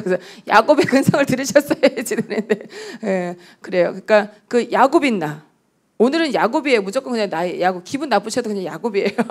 그냥 저처럼 약간 기분 살짝 나빠도 난 사기꾼 기질이 없는데라고 생각하시지 마시고 하느님이 그렇다고 하시니까 그렇죠. 내 안에 내가 모르는 내가 있는 거예요. 무의식적으로 내가 깨달지 못하는 것들이 있는 거예요. 그런 것처럼 그런 나를 보시는 이 자리에 하느님 앞에 무릎 꿇게 하시는 건 누구예요? 야곱인 나라는 거예요. 그리고 하느님 앞에 구, 길, 어, 돌아오게 하시는 것도 나였고 그리고 그 그렇기 때문에 내가 그 베델의 밤을 두려워할 때 내 식구들한테 약속하는 것이 아니라 하느님이 누구한테 약속? 야곱이 약속, 야곱에게 약속하셨잖아요. 내가 너를 이 땅에 돌아오게 하겠고, 내가 너를 지켜주라 약속하시잖아요. 그건 누구에게 하시는 거? 야곱이 나에게 하시는 거예요. 우리 집안에 누가 다른 사람에게 하는 것이 아니라 하느님의 그 약속은 나에게 하시는 거죠. 그렇기 때문에 내가 이 자리에 있고 하느님의 은혜를 받고 내가 그 깨달음의 시간이 있고 은혜 시간에 내가 교회 안에 머물고 계시고 성령 시대 안에서 우리가 성령 충만함으로 우리가 이끌어가신 하느님 안에 우리가 머물고 있다 그러면 예수님께서 열두 제자를 뽑아서 열두 제자를 통해서 복음을 선포하고 또 그 복음이 지금 우리까지 왔잖아요. 이 땅까지 왔잖아요. 이스라엘 땅에 있는 그 어떻게 보면 종교라고 할 수 있는 그 하느님을 믿는 이스라엘 백성들이 믿는 그 하느님이 어디까지 왔어요? 여기 우리 한국이란 땅. 그렇죠. 이스라엘 땅은 저쪽에 있어요. 그렇죠. 우리랑 우리는 우리는 이쪽에 삼면이 받은 이쪽에 있지만 이스라엘은 지중해가 있는 저쪽 땅에 가 있잖아요. 그 하느님이 그 복음이 어디까지 왔어요? 지금 이 땅에 있는 이곳에 또 저희 안에 있는 거거든요. 그런 것처럼 여러분들이 그 교회 시대에 집안에서 내가 밖에 나가서 뭐 가드 선교하고 이런 것뿐만 아니라 정말 내 집안에서도 그렇게 하느님의 은혜를 내가 조금씩 조금씩은 또 선포할 수도 있고 그 안에 그러면서 하느님 나라가 확장되게 나갈 수 있으리라 믿습니다. 그래서 그렇게 정말 성부 하느님의 그 노아의 방주처럼 7일간에 열려 있는 그 시간처럼 내가 하느님의 은혜 안에서 여러분이 살아가신다 그러면 정말 복음이 선포되고 또 복음을 내가 선포하고 회개하고 어, 복음을 믿어라 하늘나라가 다가왔다라고 했던 그 복음을 선포하는데 두려움 없이 또 선포하시는 여러분이 되시기를 기도드립니다. 그래서 우리가 이제 어, 야복강에 대해서 잠깐 이제 그 다음에 야복강은 저희가 주로 볼 거기 때문에 야복강에 가면 여기까지 그냥 보고요. 자, 야복강에서는 이제 에사우를 만나는 장면이 나오거든요. 그러면서 야곱이 하느님과 씨름하는 장면이 나와요. 그런데 창세기 46장 한번 가보실까요? 창세기 40장에 가보시면 또 부에르세바라는 밤이 있어요. 가셨나요? 예, 거기 보시면 저희가 46장 1절에서 2절 함께 읽어보실까요? 이스라엘은 자기에게 딸린 모든 것을 거느리고 길을 떠났다. 그, 그는 부에르세발에 이르러 자기 아버지 이삭이 하느님께 제사를 드렸다. 하느님께서 밤의 환시 중에 이스라엘에게 말씀하셨다라고 나오죠. 거기 밤의 환시 나오죠. 그래서 밤이라는 거에 대해서 박스 뭐 줄이나 이렇게 안 돼 체크 안 되신 분들은 밤의 환시의 밤 이런 걸 한번 이렇게 네모나게 박스 쳐주시면 될 것 같아요. 그래서 여기도 마찬가지예요. 야복강의 밤 다시 야곱이 자기 본 고향을 돌아가는 거잖아요. 그 돌아오는 과정이 야복강인데 그 야복강에 와서 에사우 형을 만난다 만나는 거예요. 그래서 만나고 나서 부에르세바에 이르기까지 또 요 중간에도 이 32장과 36장 사이에는 또 많은 사건들이 있어요. 그래서 많은 사건들이 있는데 그 중에 하나가 또 무슨 사건이 있을까요? 그 중에 하나가 또 뭐가 있을까요? 우리가 쭉 보면서 갈까요? 이때 요셉이 어디를 형들에게 그쵸? 형들이 요셉을 어떻게 해요? 팔아버리잖아요. 팔아서 이스라엘이 아, 요셉이 이제 또 이집트로 들어가는 장 이집트로 들어가게 되잖아요. 그래서 이집트에 재상이 되고 나서 그 다음에 야곱이 이제 부에세바 아까 46장에 가 있는 여기 그 말이 그 말이에요. 이스라엘이 자기의 딸린 모든 것을 거느리고 길을 떠났다라고 나오잖아요. 그러니까 이 말이 그 말입니다. 그래서 세월이 지나고 나서 이제 그 아들 중에 베냐민도 태어난 거예요. 베냐민도 태어나고 라헬도 죽었어요. 라헬도 죽고 그 다음에 이제 이 중간에 그, 그 형제들이 요셉을 이제 팔아 넘겨서 이제 이집트로 팔려서 이제 가죠. 팔려서 가서 이제 재상에 대해서 다시 이제 그 기근이 들어서 그렇죠. 이스라엘 땅과 온 땅에 기근이 들잖아요. 그래서 기근이 든 상태에서 요셉에게 이제 요셉이 재상이 되면서 이제 자기네 형제들과 아버지를 데리고 가죠. 그러면서 이제 46장에 이제 야곱이 이집트로 이제 다시 들어가는 장면이 나오는 겁니다. 그러면서 그가 들어갈 때 어디에 이르러요? 부에르사이바에 이르렀을 때 그때 밤의 환시 중에도 하느님께서 야곱에게 또 이스라엘에게 또 말씀하시는 거죠. 야곱아 야곱아 하면서 부르시는 장면이 나옵니다. 그래서 이 부분은 저희가 볼 것이 아니라 저희가 오늘 주로 볼 것은 창세기 32장 가보실까요? 창세기 32장 우리가 약복강의 밤을 통해서 우리가 오늘 은혜 받으시겠습니다. 32장 가보세요. 32장 가셨나요? 네, 32장 거기 가시면 2절 함께 읽어보실까요? 야곱은 길을 떠났다. 그는 도중에 하느님의 천사들과 마주쳤다. 야곱은 그들을 보고 이곳은 하느님의 진영이구나 하면서 그곳의 이름을 마하나임이라 했다라고 나오죠. 여기 보면 하느님의 천사들과 마주쳤다라고 나오죠. 거기를 줄을 한번 주시고 마하나임이라라고 나오잖아요. 나오죠. 그래서 마하나임은 성경에 주석이 어떻게 붙어 있어요? 양진영이라는 뜻이에요. 그러니까 쉽게 얘기하면은 하느님의 천사들과 마주쳤는데 이것이 하느님의 진영이구나 하면서 그곳의 이름을 마하나임이라고 했잖아요. 그러니까 양 양쪽에는 진영을 치는 거예요. 그러니까 쉽게 얘기하면은 하느님의 천사들과 마주쳤는데 그 진영을 쳤는데 그게 한 겹으로 둘러싼 게 아니라 두 겹으로 천사들이 야곱을 둘러싸고 있다라는 거예요. 그런데 야곱이 지금 에사우를 이제 자기 고향으로 돌아가는 거잖아요. 형을 만나려고 해. 두려울 거야, 안 두려울 거예요. 형이 무서워서 사실 도망친 거잖아요. 라반 땅을 돌아 다시 자기 고향으로 돌아가지만 어, 자기 형, 형이 어떻게 받아들일지 몰라서 두려운 마음이 들 거 아니에요. 그래서 야곱이 어 기, 야곱의 마음에 에사우가 걸리는 거예요. 그래서 아마 어쩌면 라반 땅에서 살 때도 다리를 쭉 못 펴고 살았을 것 같아요. 아까 제가 얘기했잖아요. 라반은 어, 야곱의 삼촌이지만 누구 외삼촌이에요? 에사우의 외삼촌이에요. 에사우가 언제든지 마음만 먹으면 글로 하늘 땅으로 올라올 수 있거든요. 그 언제 올지 모르는 그 에사우한테 또 두려운 마음이 있을 수도 있습니다. 그래서 아마 어쩌면 우리가 묵상해 본다 그러면 라반에서도 다리를 못 펴고 살았을 것이고 다른 거죠. 그런데 그런 야곱에게 하느님께서 어떻게 해요? 20년 동안 버틸 수 있는 육적인 기쁨을 주시죠. 누구예요? 라헬을 주신 거죠. 정말 7년이 며칠로밖에 여기지 않았던 라헬을 주시는 것입니다. 그런데 그런 두려운 야곱에게 하느님이 어떻게 해요?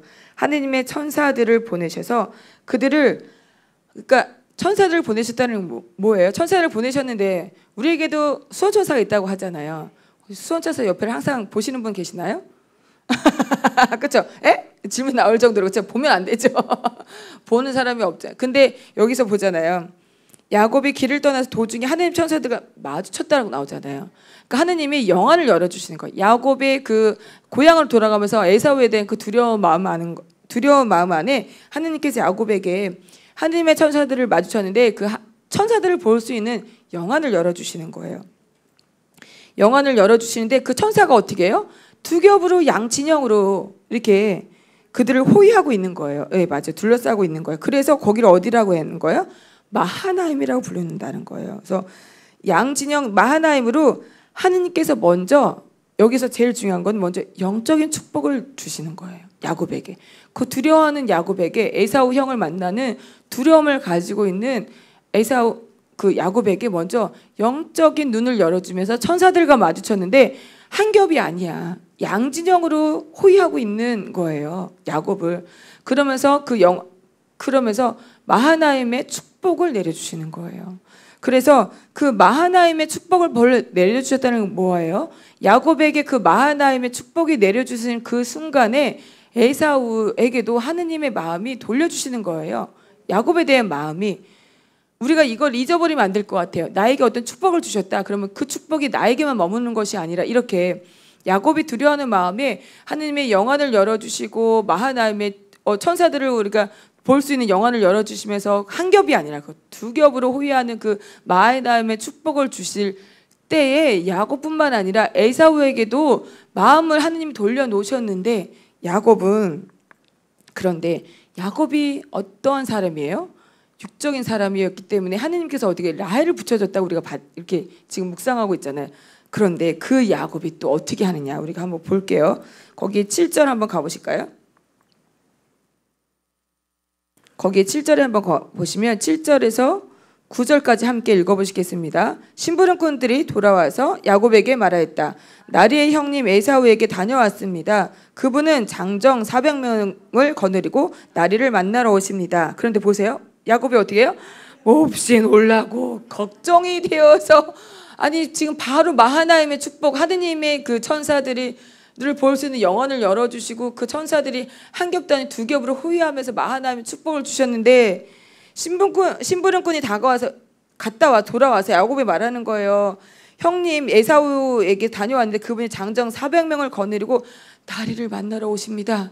라고 하니까 야곱에게 야곱이 어떻게 몹시 놀라 걱정이 돼서 함께 읽어보실게요. 자기 일행과 양과 염소, 소와 낙타들을 두 무리로 나누었다. 그는 에사우가 한 무리에게 달려들어 치더라도 나머지 한 무리는 살아남을 수 있겠지 하고 어떻게 생각하였던 것이다. 우리도 이 생각 많이 하죠. 우리도 두려운 마음이 들면 다시 그냥 내 안에 있는 야곱의 근성이 나와서 야곱의 방법이 나오는 거예요. 내 방법이 나오는 거예요. 야곱의 방법 사기 봐봐요. 사기꾼의 방법이 나오죠. 뭐라고 어떻게 생각해 야곱이? 자, 이제 예사우가 치더라도 한 무리는 살 수 있게끔 어떻게 한다는 거예요? 두 무리로 나누는 거예요. 두 무리로 나누어야지. 그래야지 예사우가 한 무리를 치더라도 다른 나머지 무리는 살아남을 수 있겠지 하고 생각한다라는 거예요. 그렇게 야 그렇게 야곱은 그렇게 육적인 사람인 거죠. 그러니까 우리가 보면 하느님이 우리에게 우리가 훈련을 하고 은혜를 받고 해도 우리에게는 이렇게 두려운 마음이 들다 그러면 어느 순간에 나도 모르게 내 안에 있는 그 야곱의 근성이 나와서 내 방법이 나오고 몹시 걱정스러워 두려워. 놀라서 걱정스러움 되니까 어떻게 생각을 하게 되는 거예요. 그 방법 중에 하나가 뭐예요? 그러니까 무리를 두 무리를 나눠서 하나를 치더라도 하나는 괜찮겠지? 이렇게 생각하는 야곱의 그 사기꾼 같은 근성, 자기만의 방법이 나오는 거예요. 이 모습 보이죠? 하느님의 축복을 주셨는데도 그렇게 나온다라는 거예요.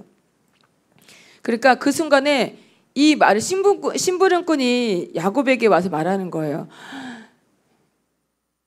날이 형님이 오시되 장정 400명을 이끌고 나를 만나러 오십니다 하는 순간 하느님이 바로 축복을 부어주셨어요. 나 하나님 축복을 부어주셨잖아요. 영안을 열어주고 천사들이 두 겹으로 후회하는 축복을 내려주시 마하나님 축복을 내주셨는데 그 앞에 마하나님 축복이 아니라 바로 에사우 얼굴이 크게 자기 얼굴에 자기 눈앞에 크게 마하나님 축복이 아니라 자기 앞에 에사우 얼굴이 크게 그러니까 몹시 놀라고 걱정스러운 거예요. 그렇게 야곱에게 그 순간에 그 자기 방법이 생기는 거예요. 그러면서 17절에 한번 가보실까요? 그러면서 또 나오는 방법이 있어요. 아유, 야곱이 한 가지만 생각했겠어요? 그렇죠? 우리가 라반이 어떤 사람이라는 거 알죠? 그 자기 삼촌 형 라반이 야곱과 야곱이 자기 자기 딸 둘째 딸이죠. 둘째 딸 라헬이 마음에 들어하는 걸 아시고 뭐라고 말을 해요? 자네가 7년 동안 일을 해주면 내가 딸을 주겠다라고 하면서 7년 동안 일을 했어. 근데 실제적으로 누굴 들여보내요? 레아 첫째 딸을 들여보내요. 아마 그때 당시엔 지금처럼 이렇게 얼굴을 다 본 상태에서 결혼하는 것 같으면 아니라는 거 알지만 그때까지 신부가 이렇게 앞에 이렇게 영화 같은 데 보셔 영화 같은 데 보면 보셨을 거 이렇게 앞에 신부의 얼굴을 볼 수 없게끔 이렇게 다 밤새도록 그러니까 그 얼굴을 볼 수 있는 거는 그때 불빛이 없잖아요. 전기 불빛이 없잖아요. 그러니까 신방을 첫날을 치르고 나서 아침이 되어야지만 신부 얼굴을 볼 수 있는 거예요. 그때 좀 이상하지 않아요? 그렇게 라, 그렇게 레아를 좋아했으면 아무리 얼굴을 가려도 그렇지 밤새 자는데 이게 레아인지 라헬인지 몰랐다는 게 난 조금 의문스럽긴 한데 아마 기쁨으로 그랬겠지. 어, 그렇죠. 목소리도 달랐을 텐데. 아 이상해, 그치? 그게 하느님이 하시는 일이겠죠. 그래서 그 7년 동안 그래 그래서 얼마 아침에 얼마나 자기 라반 삼촌을 쫓아가서 목 멱살을 잡잖아요. 어떻게 나한테 이러실 수 있냐? 또 어떻게 또 또 어떻게 흥정을 해요? 또 자네가 일을 해주면 내가 주겠네 라고 해서 일주일 지나고 나서 라헬을 아내로 맞아들이잖아요. 그렇게 정말 사기꾼 같은 라헬에게 아, 요 야곱에게 야곱에게 내가 왜 이렇게 헛갈리는지 알았어요. 회장님이 야곱 했다가 요셉 했다가 그러잖아요. 그러니까 그 야곱에게 누굴 붙여줬어요? 라반 땅에 가서도 자기보다 더한 하란 땅에 가서 누구? 자기보다 더한 삼촌의 그 라반을 붙여주죠. 자기는 7년 동안 일을 했는데 대단하지 않아요? 그 첫째 딸을 또 들여보내고 7년 동안 일을 해주면 내가 또 주겠네라고 하잖아요. 어, 그런 라반 그러한 라반에게서 20년 그 동안 거기 머물고 있죠. 그런데 어떠한 사람이 때 어떠한 라반의 야, 야곱이 어떠한 근성을 가지고 있기 때문에 라반을 붙여줬느냐. 사기꾼이 봐봐요. 여기 7절에서 9절까지 보면 한 무리는 살겠지 생각하면서 두 무리로 나눴잖아요. 그런데 17절에 한번 가보세요. 그렇죠? 32장 17절. 야곱이 이런 사람이기 때문에 하느님이 라반을 붙여주신 거예요. 한번 읽어보실게요. 야곱은 이것들을 종, 종들의 손에서 한 때씩 따로 넘기면서 나보다 앞서 가되 때와 때 사이에 거리를 두어라 하고 종들에게 일렀다. 그러니까 때를 두, 그러니까 무슨 말인지 알죠? 이렇게 이렇게 한 무대기를 때를 두는 거야. 그래서 때를 보내고 또 보내고 그러는 거야. 그렇게 그렇게 야곱은 그렇게 정말 근성이 있는 사람이야. 좋은 근성이 아니라 하느님 안에서 본다 그러면 정말 그런 그런 사기꾼적인 근성을 가지고 있는 사람이 야곱이라는 거야. 그러니까 여러분 묵상해 보세요. 내 내 옆에 라반이 있어. 나보다 더한 사람이 내가 생각 아나 나도 나는 나는 그냥 야곱이야. 난 야곱 정도밖에 안 돼. 아 저 사람 나보다 더한 것 같아. 그런 생각 드는 사람 있죠? 그러면 그 사람 내 옆에 붙어 있어. 그럼 뭐예요? 내가 그만큼 야곱의 근성을 가지고 있고 그만큼 야곱의 사기꾼 기질이 있다라는 거예요. 이렇게 마흔하면 축복을 줬는데도 바로 뭐예요? 아, 한 무리만 치면 한 무리 남겠지. 거기까지 멈추는 게 아니야. 뒤에 때와 때 사이를 또 거두어서 보내는 그러한 사람이 야곱인 거야. 그럼 내 옆에 라반이 있다고 생각, 아, 나 저 사람이 라반 같아. 왜 주님이 나한테 라반을 붙여줬을까? 하면 내가 이런 사람이라는 거예요.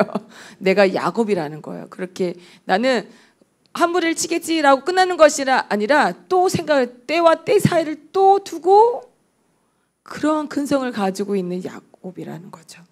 그런 나에게 하느님께서는 누구를 붙여주신 야곱 라반을 붙여주시고 그 하라는 세월에서 하라는 세월에서 20년이란 세월을 버틸 수 있게끔 그 기다림은 시간을 버틸 수 있게 누굴 붙여줬다는 거예요?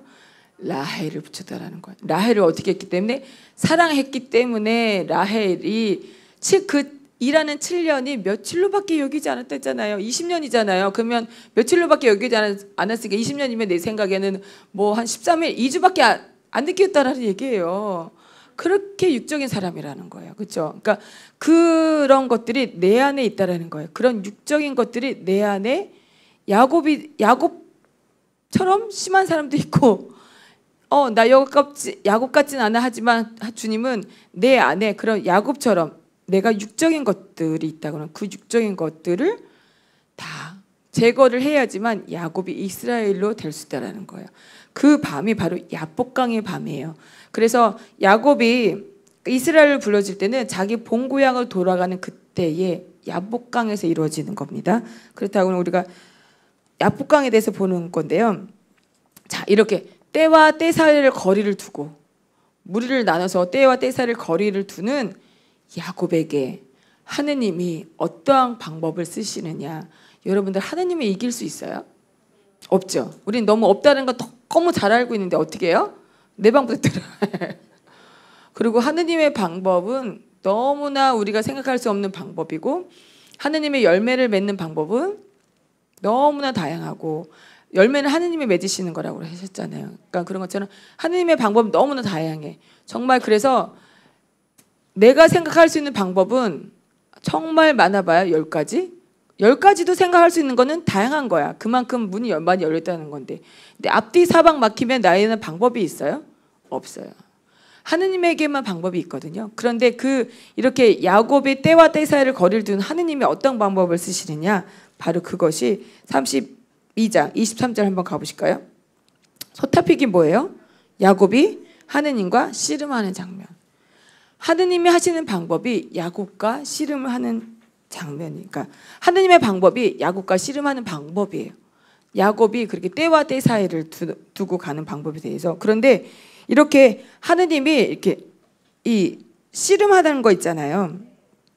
이 씨름에서 사실은 야곱이 어, 하느님의 천사들과 여기 천사와 씨름을 하는데 이 씨름하는 것에 놓아주지 않으면 야곱은 죽거든요. 그런데 이렇게 씨름하는 장면이 또 나와요. 성경에 어디일까요? 기억나시는 있을까요?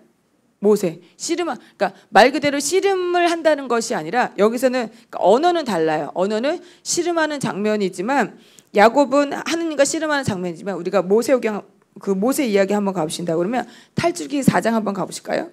탈출기 4장 가셨나요? 4장 24절 한번 가보실까요? 24절 네, 읽어보실게요. 모세가 길을 가다 어떤 곳에서 밤을 지냈는데 주님께서 그에게 달려들어 어떻게 그를 죽이려 하셨다. 아, 정말 이해 안 되는 그 장면 중에 하나죠, 이 부분이. 근데 여기 보면 모세가 길을 가다가 바, 이때도 밤이에요. 밤이라는 거 한번 생각해 보시면 될 것 같아요. 주님께서 어떻게 그에게 달려들어 그를 죽이려 하셨다고 나오잖아요. 근데 이 4장 전에 모세가 이제 3장에 가보시면 소명을 받잖아요. 소명을 받고 내가 하느님께서 그러면 이집트를 이제 돌아가라고 하시잖아요. 미디안을 떠나서 이집트로 돌아가서 파라오에게서 내 백성들을 데리고 나오라고 말씀하시잖아요. 그걸 받은 소명을 모세가 소명을 받잖아요. 그런데 하느님께서 그래서 그러면 당신을 무엇이라 할까요? 라고 했더니 나는 있는 나다라고 말씀하시잖아요. 그러면서 모세가 이제 그 미디안을 떠나서 18절에 보시면 4장 18절에 가보시면 모세가 이제 미디안을 떠나서 이집트로 돌아가는 거예요. 이집트로 돌아가는 거예요. 그런데 이 모세의 아들인 게르솜이 할례를 받는 장면이 나오는 거거든요. 근데 할례 이스라엘 백성들에게 할례라는 것은 어, 상당한 의미를 가진다고 합니다. 그래서 이것이 선민으로서의 의미고 그 다음에 하느님 나라의 백성으로서의 의미고 제사장 나라서, 나라로서의 의미를 가지는 것이 이 할례라는 의미예요. 그런데 칩보라는 하느님의 그 약속의 자손이는 아니죠. 그렇죠? 미대한 사람이기 때문에 찌포라는 아마도 그 하느님의 자손 약속의 자녀가 아니기 때문에 유대인들은 원래 할, 태어나면 태어난 지 8일 만에 할례를 받거든요. 그러니까 이때 아마 모세의 아들이 할례를 받지 않은 것 같아요. 그래서 그런데 모세가 어떤 길을 가다가 주님께서 그에게 달려서 죽이라 하셨다라고 나오잖아요. 그러니까 여기도 밤이 나오는데 이 성경에서 나와 있는 밤은 고난을 고난과 이런 것들을 표현한다 표현한다고 합니다. 그래서 어 어떻게 보면 모세가 지금 사명을 받은 거잖아요. 하느님께 소명을 받고 그 가는 중에 소명을 받고 이집트를 지금 가는 길에 모세의 아들에게 어, 밤이 됐는데 주님께서 그에게 달려 죽이려 하셨다라고 나오잖아요. 그러니까 이 이야기는 우리가 묵상해 본다 그러면 사명자가 고난 중에 또 하느님의 백성이 받는 고난 중에 주님께서 달려들어 주기로 하시는데 이것이 창세기 32장에 있는 야곱을 붙들고 하느님께서 씨름하시는 것과 같은 의미로 볼 수 있다라는 거죠.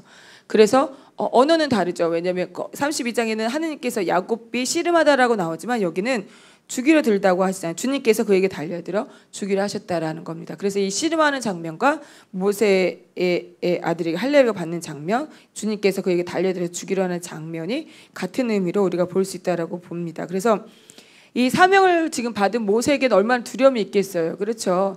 모세도 도망가 도망갔다가 그렇죠? 모세도 야곱처럼 자기 자기 원래 이집트 궁에 살고 있다가 파라오 궁에 살고 있다가 도망갔잖아요.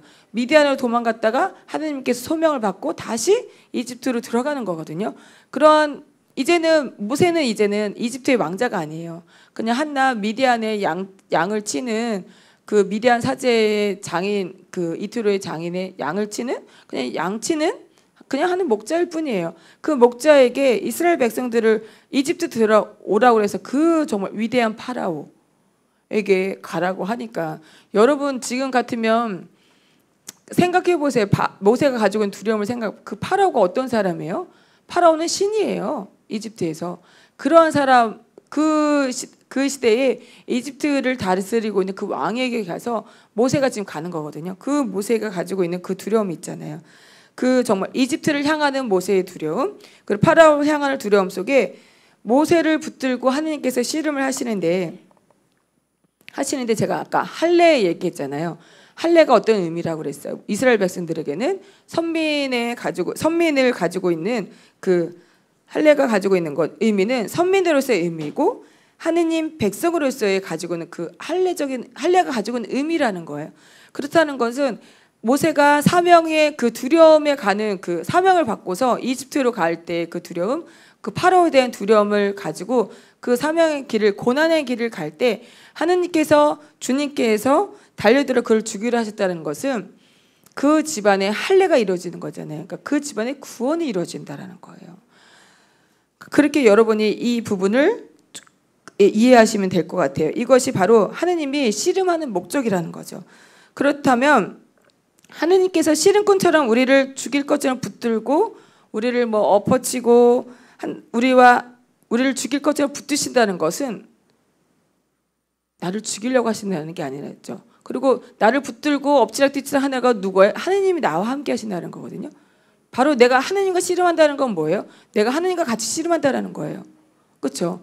그 하느님께서 그렇게 엎치락뒤치락 나를 죽일 것처럼 달려드시고 또 우리를 그 붙드시는 것은 우리와 함께 하시는 것이고 그것이 바로 그 밤이 밤이라고 나오잖아요. 여기도 밤이라고 나오잖아요. 모세도 가는 길이 밤에 하느님께서 그렇게 죽이려 들려 달려드시다고 나오는 것처럼 그 밤의 어둠 속에서 나를 죽일 것처럼 붙잡고 늘어지는 것이 바로 하느님의 씨름이라는 거죠.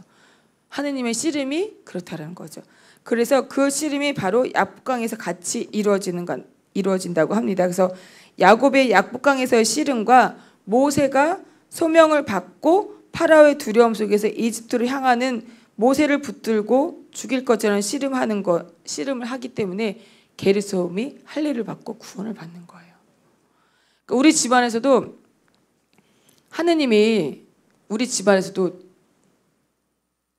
내 아들을 붙들고 계셔. 내 아를 죽이려고 붙들고 계셔. 그런데 그 아들을 통해 죽고 그런데 그 아들을 통해서 우리 가정이 구원을 받아. 그리고 내 자녀를 붙들고 있어 하느님께서. 우리 쉬운 예를 들어보면 제일 우리가 제일 공통적으로 아는 분 있죠? 회장님? 우리가 공통적으로 공통분모 그죠? 우리가 아는 분, 전 많은 사람 모르니까 공통적으로 우리가 아는 분 하는 회장님 예를 든다 그러면 자 하느님이 붙든 사람이 누구예요? 죽이려고 달려든 사람이 누구예요? 자녀였잖아요. 자녀를 붙들고 누르니까 어떻게 해요? 어 기도했죠. 그리고 종으로 부르셨잖아요. 그러면 어떻게 돼요? 그그 그 집안이 어떤 집에 시집을 오셨을 때는 그 원래 본인은 또 이렇게 이방인이죠. 어떻게 지금 이방이죠. 믿는 집안이 아니어서 시집을 왔는데 그 시집에 왔더니 믿는 집안이 사대째 믿는 집안이었지만 믿음은 없는 집안이었어요. 그런데 어, 자녀를 통해서 하느님이 이 모세 게르솜처럼 할례를 받고자 죽이러 달려드셔서 그 아, 자녀들을 붙으시니까 어떻게 해요? 회장님께서 기도하셨잖아요. 그 기도하셔서 그 집안에 무엇이 이루 지금 열매를 보면 뭐예요? 그 집안에 구원이 이루어졌잖아요. 그, 그 집안에서 종이 탄생을 하는 거고 회장님 자체가 종이 됐지만 그 자녀가 또 종이 되는 거잖아요. 그, 그 집안의 구원이 이루어지는 거죠. 그런 것처럼 하나님이 어떤 때는 정말 그 집안의 구원을 이루기 위해서 씨름을 씨름한다는 거죠. 그 영혼을 붙들고 씨름을 한다라는 거예요. 그럴 때는 여러분 그런 모습 볼 때는 왜 그러실까가 아니라 아 우리 집안에 하느님이 붙들고 씨름하는 영혼이 있구나. 하느님이 그 영혼을 붙들고 씨름하고 있고 죽이러 달려 드시는구나. 그렇다면 그 영혼을 통해서 죽이러 드신다는 건 하나님 구원하시고자 하신다는 거거든요. 그 약북강에 가서도 보면 이 밤에 밤에 환시 중에 하나님이 나타나는 거니까 그러니까 밤이라는 건 고난이라는 거예요. 하느님의 백성들이 고난 중에 있고 하느님의 종들이 고난 중에 그 고난 중에 하, 누군가 하느님이 약복강이면 약복강 모세처럼 그 정말 그 이- 이집트에 들어가는 그 두려움, 파라오에 대한 두려움이 있어.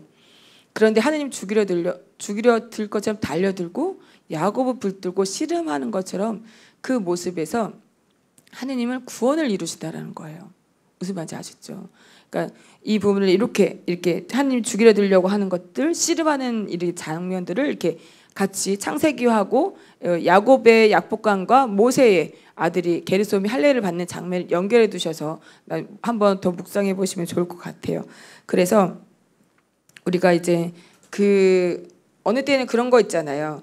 어 주님께서 나를 죽일 것처럼 막 조여드는 문제들이 있고 나를 꽉 붙들고 있는 문제들이 있을 수도 있고 그런 우리가 씨름의 문제들이 있잖아요. 우리 가정에 또 내 영혼에 그런 씨름의 문제들이 있다라는 거예요. 그것이 바로 밤이라는 거죠. 그것이 바로 그 고난 중에 어, 그 구원을 이루기 위해서 하나님이 우리와 씨름을 해주신다라는 거예요. 그런데 그 문제 때문에 그 문제 때문에 우리 가정의 구원이 이루어지기도 하지만 그 문제 때문에 내가 능력을 받기도 한다라는 거예요. 네, 그렇죠. 아, 역시 구원보다는 나는 구원 받았기 때문에 능력이 더 좋아. 우리 집안에 구원이 이루어집니다 할 때는 조용해. 어, 벌써 이루어졌지. 네, 그런데 능력이 주어집니다. 아멘. 벌써 이 자세가 달라지는 우리 성교사님들의 자세. 주님 보시고 너무 기뻐하실 것 같아요. 이렇게 구원이 이루어집니다. 때 이래 구원은 벌써 이루어졌어. 그죠? 우리 여기 앞에 계신 성교사님들 이야기입니다. 제가 보니까 예, 앞에 계신 우리 성교사님들은 이제 훈련을 오랫동안 하셨기 때문에 우리 구원을 이루- 그 정도는 주님이 벌써 이제 구원을 이루어 주셨어. 근데 이제 근데 이러고 앉아 계시다가 이- 그 씨름의 문제 때문에 여러분이 이렇게 능력이 주님이십니다. 이렇게 이렇게 이렇게 앉았다 어떻게 돼? 아멘 이렇게 되는 거예요. 그- 그런 것처럼 능력을 사모하는 하느님의 종들입니다. 그래서 이런 모습을 보시고 하느님 기뻐하시고 그 정말 씨름의 문제 있잖아요. 나한테 씨름의 문제가 있을 수 있거든요. 그게 나의 영적인 걸 수도 있고 또 우리 집안에 어떠한 그런 씨름의 문제들이 있어요. 그것이 바로 밤이라는 것이고 성경에서 말하는 밤이고 그것이 고난이고 근데 그그 씨름의 문제를 하나님이 붙들고 씨름하시 주신다는 거예요. 내가 하는 게 아니라 하느님이 그 씨름의 문제를 붙들고 하시는데 그 씨름의 문제를 붙들고 하느님이 주기를 달려 드실 때 구원이 이루어지고 그 씨름의 문제 때문에 내가 능력이 생긴다. 능력을 나한테 부어 주시다는 겁니다. 그래서 이렇게 보시면 될 것 같고요. 자, 이제 드디어 이제 한번 가보시죠. 야복강의 밤. 자, 이제 창세기 32장 한번 가보실까요? 오늘 우리가 누구라고 그랬어요? 야곱이에요. 오늘 야곱이 있긴 하지만 주님께서 오늘 야곱이 아니라 너를 이스라엘이라 부르신다고 하셨거든요. 그러니까 오늘 야곱에서 이스라엘이 되는 야, 하느님께서 이제 야, 이스라엘 너는 이제 이스라엘이야? 아멘이죠. 그 이제 불러주신다 했으니까 오늘 그 축복을 오늘 또 마음 열고서 또 받아 받아보시길 기도드립니다. 32장 가셨죠? 그럼 야곱과 이야기 나오는 하- 야곱이 하느님과 씨름하는 이야기 23절. 거기도 보면 뭐라고 나 23절에 바로 그 밤에 그죠 밤이라는 표현 나옵니다. 그 밤에라고 나오죠. 그러면서 우리가 거기 한번 읽어볼까요? 25절 한 25절 함께 읽어보시겠습니다. 그러나 야곱은 혼자 남아 있었다. 그런데 어떤 사람이 나타나 동이 들 때까지 야곱과 씨름하였다. 그는 야곱을 이길 수 없다는 것을 알고 그 야곱의 엉덩이 뼈를 쳤다 나오죠. 거기 어 씨름하는 거 나오잖아요. 그렇죠? 그 씨름이라는 단어가 히브리어로 아바크래요. 아바크. 어, 아바크 히브리어입니다. 저는 아직 히브리어를 배우지 않아서 잘 몰라요. 여기 아바크. 아바크인데 이 아바크라는 뜻이 어떤 뜻이냐면 히브리어로 먼지에 쌓이다, 붙잡다라는 뜻이래요. 그러니까 이 이런 의미를 씨름하다라고 우리가 표현을 하는 겁니다. 그런데 그러니까 먼지가 쌓이다, 붙잡다는 뭐예요? 그 정말 먼지가 쌓일 만큼 한바탕 격렬하게 싸우는 모습을 표현하는 것이 이 씨름하다라는 표현인 거죠. 이 아바크라는 단어를 쓴다라는 거예요. 이해되시나요? 그러니까 필사적으로 천사를 붙들고 씨름하는 장면을 해석한 단어가 이 아바크라는 단어인 거예요.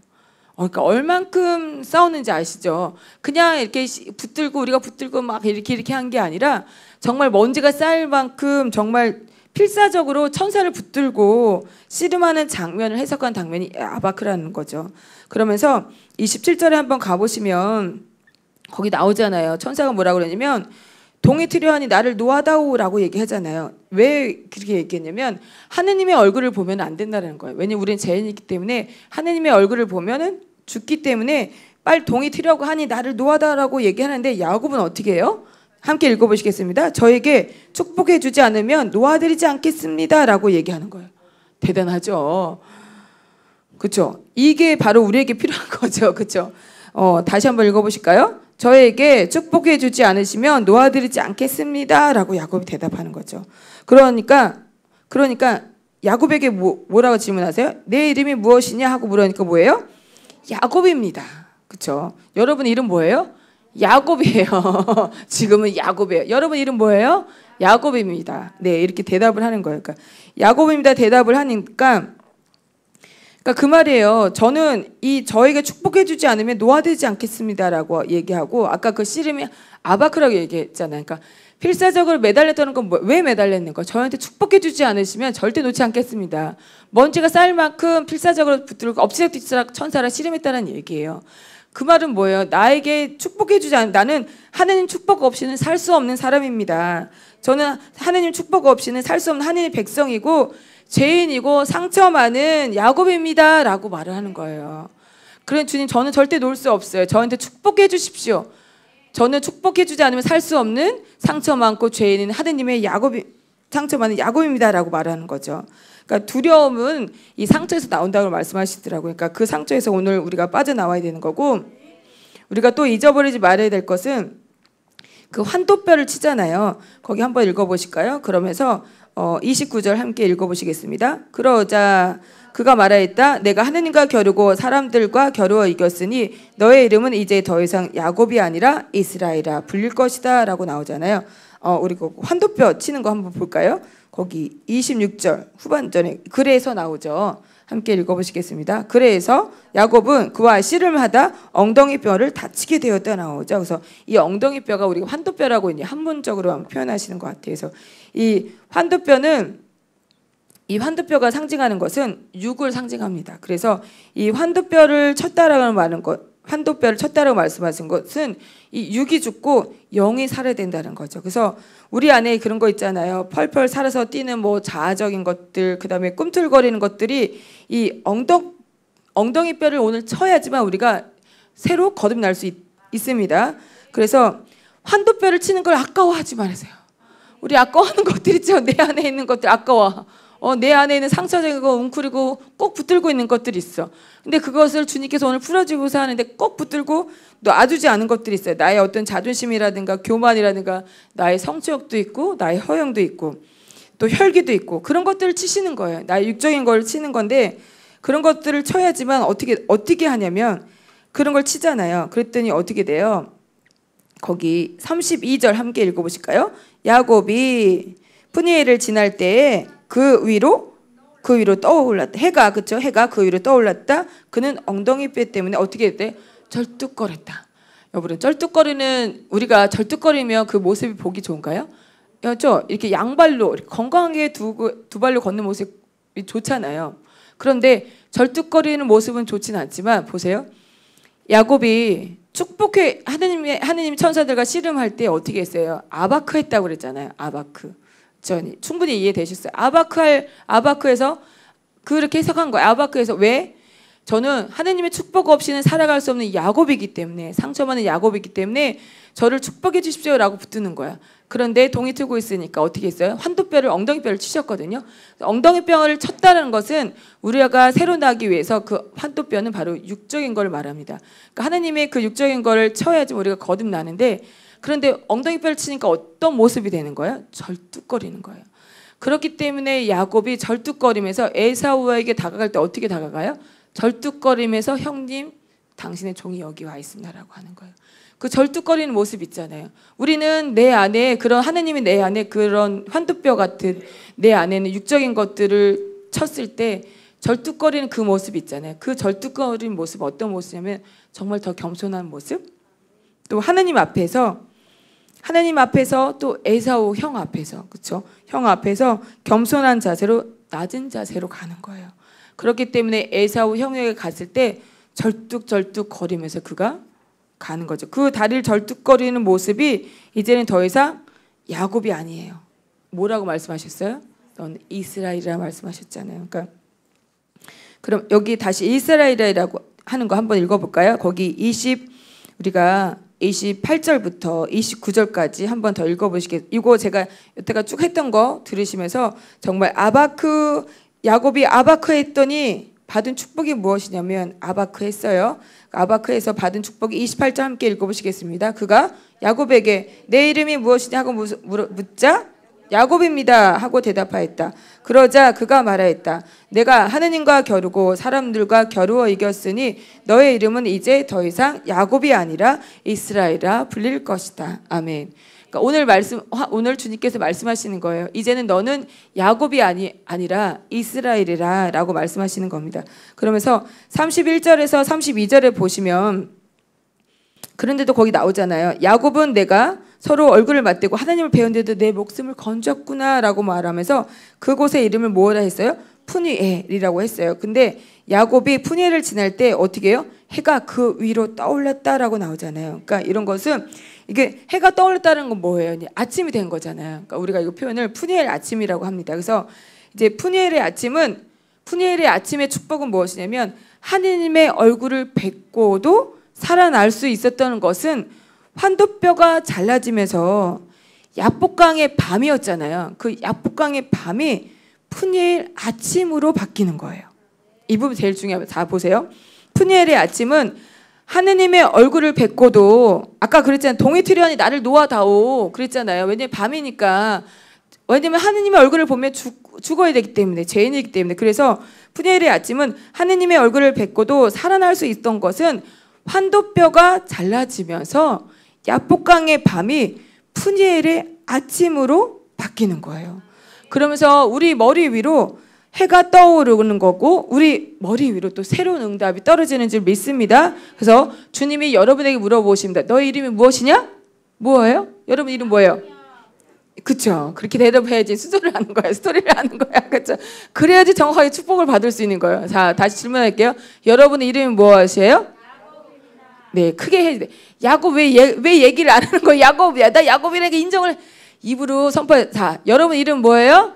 야곱입니다. 자, 근데 이제 더 이상 야곱이라 부르지 않고 이스라엘이라고 불러주셨습니다. 오늘 그 축복을 주시는 줄 믿습니다. 오늘 여러분은 더 이상 야곱이 아니라 이스라엘이라고 주님께서 축복해 주신 줄 믿습니다. 네. 자, 오늘 많이 은혜 받으셨죠? 또 미사 중에 또 은혜 많이 받으시길 기도드립니다. 성부와 성자와 성령의 이름으로 아멘.